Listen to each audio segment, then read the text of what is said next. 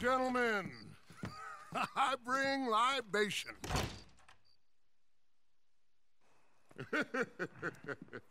you have been a very silly young man, Tacitus. When your uncle hears about this, there will be health and pay in Newport. I'm, I'm real sorry, cousin. I, I, I must moderate my approach to wine. Oh, you must. Good day, uh, gentlemen.